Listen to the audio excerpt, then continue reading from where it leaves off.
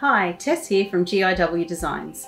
Submissions are now open for the 2019 Renovate 4680 competition, and there have been some wonderful kitchen submissions already. Without a doubt, the kitchen has become the most important room in a home. When designing a kitchen for a client, I like to find a balance. Not all functional kitchens are beautiful, and not all beautiful kitchens are practical. The most important elements for any project are planning, budget, and communication.